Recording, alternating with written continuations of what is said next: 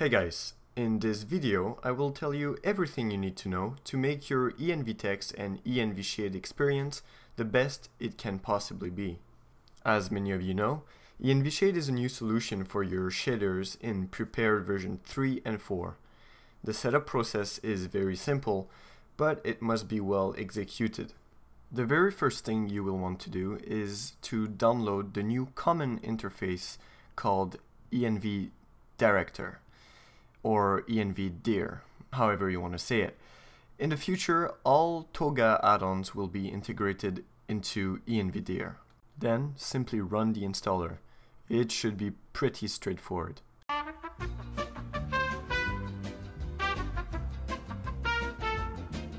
Alright, so now that this is done, simply go to Sim Market, buy and download ENVShade, and run the installer, which should take a few seconds only.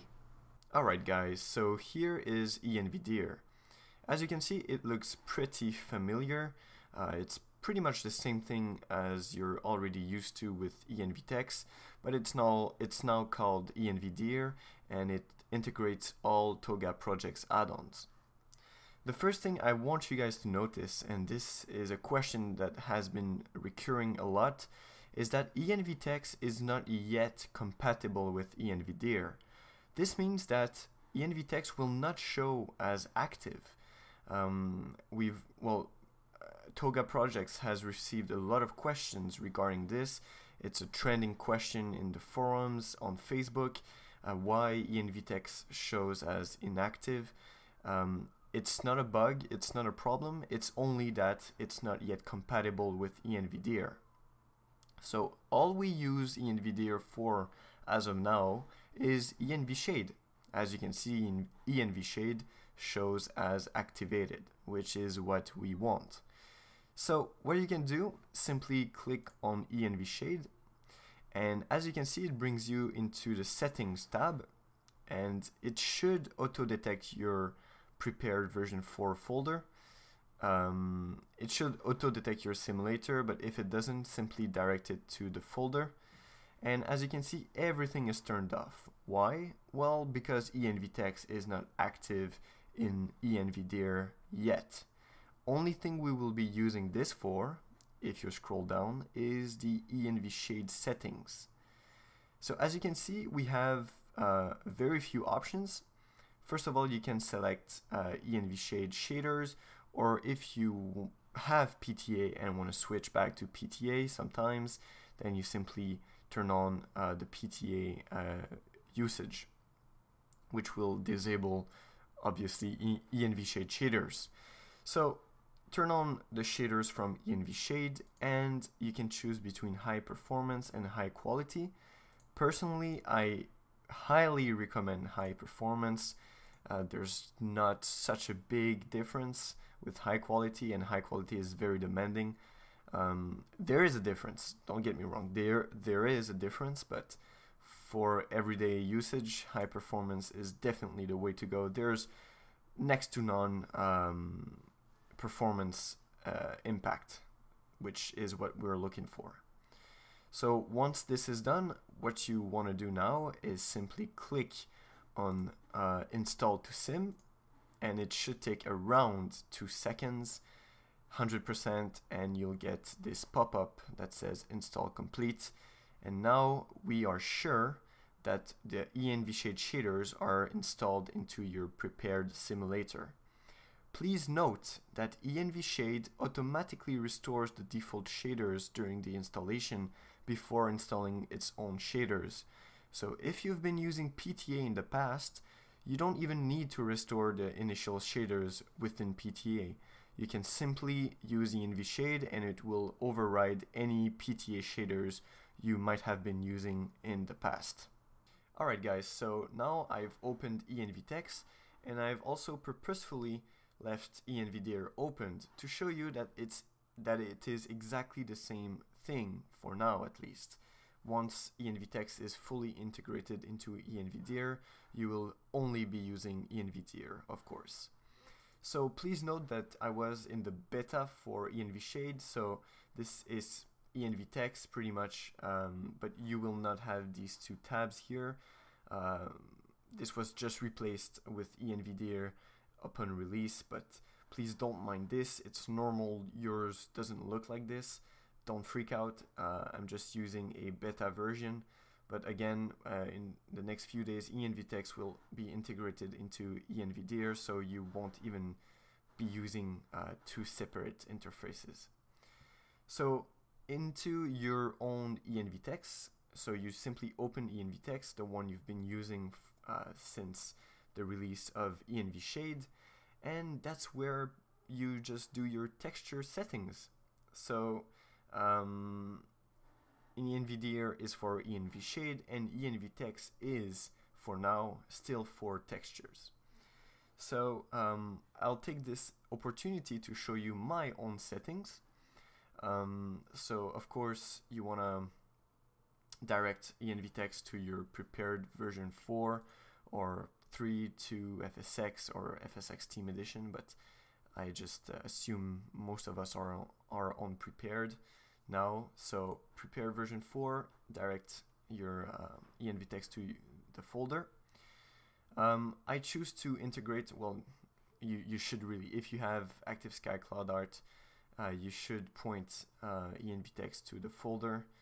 And I only use ENVTeX textures. Um, they look much, much better than uh, Active Sky Cloud Art, so I don't even use both. I only use ENVTeX, and I'll show you what that does in uh, Active Sky Cloud Art a bit later on. Alright, so as for ENVTeX settings, I have my global quality on custom, and uh, these are pretty much my settings. So optimize all textures, definitely yes, turn that on, and if you want to copy my settings, please go ahead. Um, for the clouds, I highly recommend 32 bits. It looks much, much better than uh, DXT5. Um, this is the compression and 32 bits looks a lot a lot better and uh, hit on performance is not that bad uh, from what I've uh, gathered so again these are my settings in my videos this is what I use and um, also make sure that shaders are turned off because as previously mentioned ENVDir is now uh, being used for ENV shade so ENVTEX is only used for textures and ENVDir is used for ENV shade and in the next few days or week or so it will integrate ENVTeX as well. Again, if you are curious, here are my settings and um, for the sky, it doesn't matter if you have uh, Active Sky Cloud Art. Uh, this is pretty much disabled if you're using Active Sky Cloud Art. I'll show you why in a few seconds but these uh, settings are the ones I use. So cirrus, I use set number one. For inland water, I set I use set one photoreal. For waves, set number three gives me the best uh, waves. I think it looks very good. The sun, I use uh, intense, the set one. Cumulus, I use set four. Ocean water, I use set one photoreal airport, I use set number 3. Set 4 for the sun flare. Um, aurora, I use randomly visible. Uh, for the tropical water, I use set 1 photoreal. And for the grass, I use normal set 2. Alright guys, so I'm going to end with my Active Sky Cloud Art settings and tell you a bit how ENV text and, well, in the future, ENVDir interacts with ActiveSky Cloud Art. So, first of all, I recommend that you run it on full dynamics. This will provide uh, you with the best variety of sky textures, of cloud textures as well, and uh, it will give you the most out of your uh, ENVTeX sky textures, that's for sure. So full, full dynamics it is. Now if you go into settings, First thing I want you to uh, notice is that in enabled content, everything is checked. So if you want to use the ENVTeX uh, clouds only, you will want to untick cloud textures and cirrus. You do not untick cloud structures and you keep sky colors obviously. but my personal preference is to use Active Sky Cloud Art uh, clouds, so I leave everything checked. Uh, this results in um, the, the clouds in the simulator will be from Active Sky Cloud Art and not from ENVTEX. So here are my settings. So I run everything on medium. Um, it it's what gives me the best performance uh, and uh, visual kind of ratio. Uh, and um, just make sure you have everything on 32 bit. If your system can handle it, it looks much much better. And obviously, you can try a bit. Uh, you can try a bit uh, higher resolutions, or of course, if you have lower end systems, uh, you can try lower resolutions as well. And uh, yeah, so just make sure your simulators uh, or your simulator is well um, detected. And so what I wanted to show you earlier is if you click into weather influence configuration, so what I wanted to show you here is that all the sky colors that are selected are those from ENVTEX. The sky colors from Active Sky Cloud Art are deactivated. That's because we selected only ENVTEX textures to be working with Active Sky Cloud Art. So that might be a bit confusing, but only thing you need to know is that while you are on full dynamics and you're using only ENVTEX textures, your ENVTEX textures will be randomly selected throughout the flight and uh, no ASCA textures for the sky will be uh, showing up. And quite frankly, uh, the ENVTEX sky textures look so much better. So that's my personal recommendation.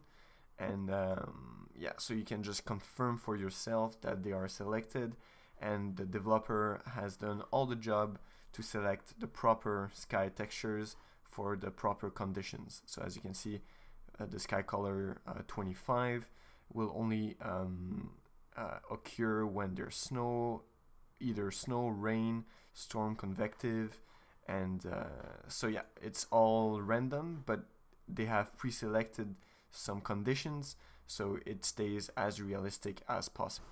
Alright guys, so this concludes this tutorial for ENVTEX, ENVShade, and the integration for ActiveSky Cloud Art. I hope this could uh, clarify a lot of uh, your questions.